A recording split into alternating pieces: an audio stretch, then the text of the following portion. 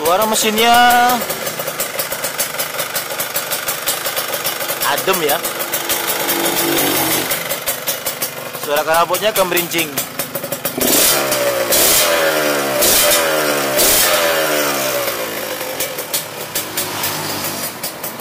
Oke.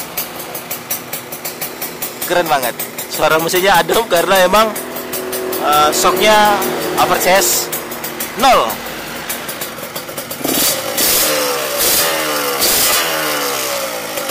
Stasionernya bagus karena dia karbunya ori. Oke, assalamualaikum warahmatullahi wabarakatuh, bosku. Kembali lagi di channelnya Mas Heri 123 dan lama banget kita nggak ngoten RS King, bosku. motor RS King adalah motor kesukaan saya karena apa? Dari dulu memang waktu saya masih SMA bawaannya motor kayak ginian cuman sayang dulu saya dapatnya spesial bosku bukan RS King. Pengennya beli RS King tapi orang tua ngasihnya mampunya belikan RS spesial. Butut. Pada saat itu ya. Alhamdulillah karena saya dibelikan RS spesial akhirnya sekarang saya suka RS King bosku. Saya bisa beli uh, eh, RS King sendiri ya. Itu rasanya beda banget. Baik bosku di depan kita ini ada RS King tahun 96 ini punya saya sendiri bosku. Tahun 96 dan ini saya udah refine udah ganteng banget bosku ini saya bilang sih Motornya udah ganteng banget, siap diajak mejeng ini bosku. RS King tahun 96 uh, eh, untuk sektor mesin. Sektor mesin saya ubah semua ini kampas koplingnya seingat saya sih baru. Enak banget kampas koplingnya dengan termasuk per-pernya per-per di dalam itu untuk kopling itu. Itu baru jadi pernya itu lembut banget bawaan orinya dari Yamaha emang.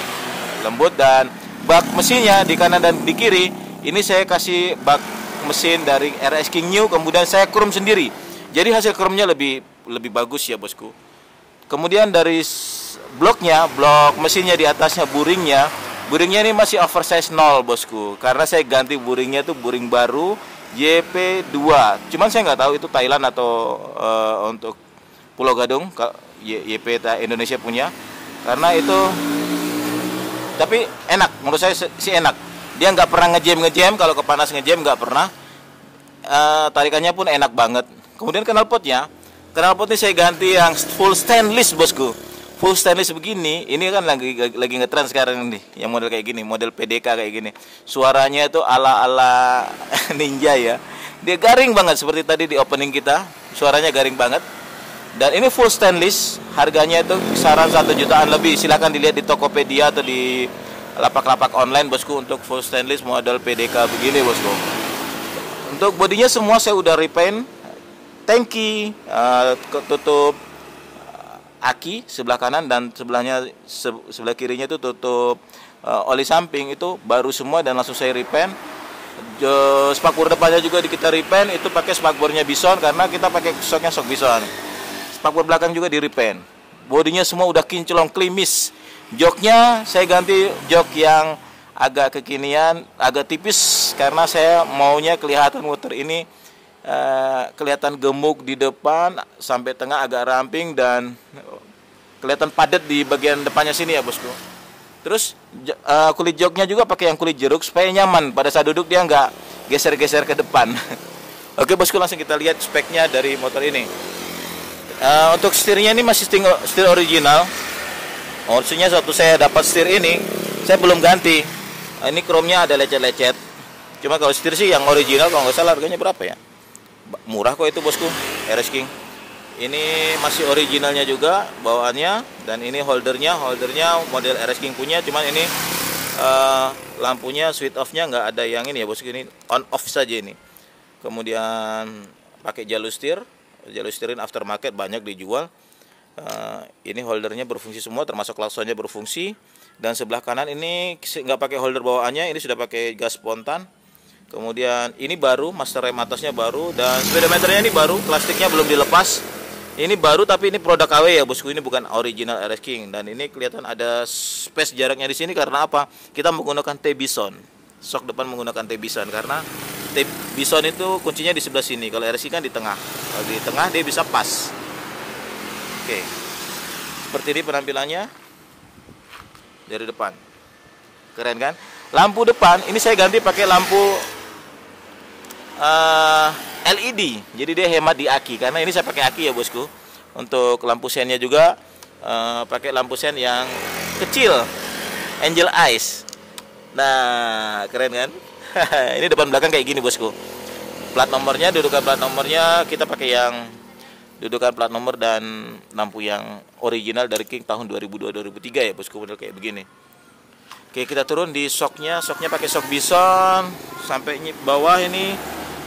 Untuk cakramnya ini kita pakai cakram yang OSK dua piston. Kemudian piringan cakramnya kita ganti yang piringan yang lebih lebar bosku. Kemudian velgnya kita pakai yang warna hitam dan ukuran bannya di sini 275 pakai ring 18 bagian depannya. Ini klaksonnya terus ya seperti tadi saya bilang ini wah keren banget nih knalpotnya. Oke okay.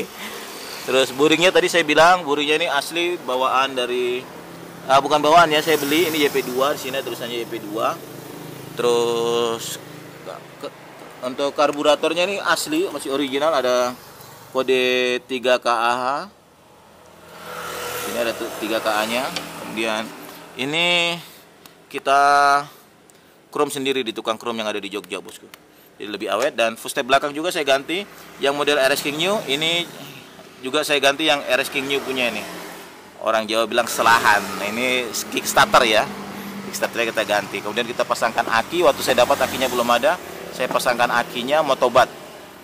Dan arm belakangnya ini pakai alam arm belakang yang Rossi cuman ininya tetap rapi bosku di sini nah ini untuk spakbor dalamnya tetap terpasang rapi kemudian sampai belakang Ya, sok belakangnya pakai Yoko 34.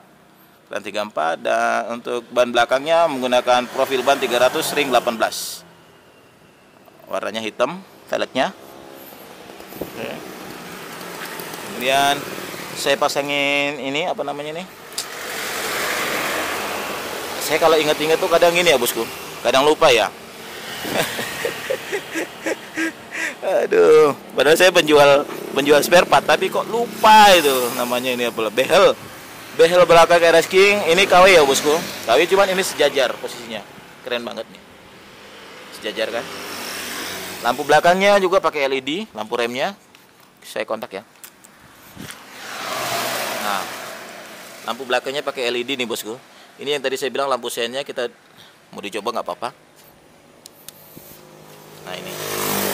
Lampu senya pakai mata elang. Lebih keren ya bosku. Oke saya matiin dulu. Terus plat nomornya AB sampai 2026 ini pajaknya jalan. Dia taat pajak bosku. Ini dari sebelah kirinya. Sama aja ya bosku. Tampilannya. Oke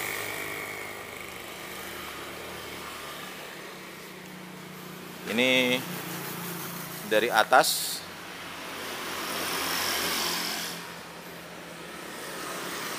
Nomor rangka nomor mesin akur bosku. Jangan khawatir. Kalau King ini ada di sini nomor rangkanya juga ada di bagian sini ya bosku. Di situ ada nomor rangka juga. Terus nomor mesinnya juga aman ini sesuai dengan kitab-kitabnya. Nah itu ada. 3 KA ya bosku. Itu RS King di sini juga masih ada ini nomornya masih tetap aman. RS King itu ada yang di situ di, di kasih nomor mesin ada yang enggak juga. Oke dan untuk indikatornya ini karena ke speedometer KW saya juga baru pasang.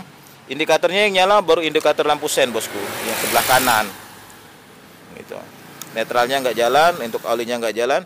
Uh, cuman ini lampunya kalau malam dia nyala ikut nyala lampu dalamnya ya, indikator speedometernya nggak jalan RPM nya juga nggak jalan. Belum saya jalankan bosku. KW lumayan untuk mempercantik tampilan RS King ini ya bosku. Bisa dilihat jadi kayak wah keren banget nih. Gambot banget ya. Motornya kayak berisi. Nah ini starternya juga nggak nggak susah. Kita coba ya. Kita coba starter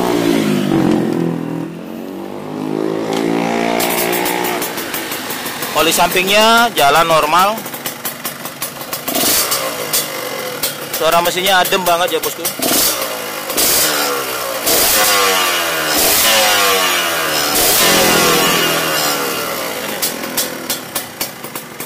jadi emang enak banget suara mesinnya.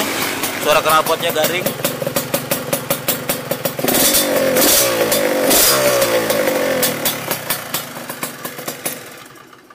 enak banget mesinnya itu halus banget ini suara mesinnya bosku. Oh ya standarnya juga kita pakai standar yang chrome yang panjang. Uh, bosku ini motor ini kalau laku sih saya jual ya. Kalau laku sih saya jual motor ini.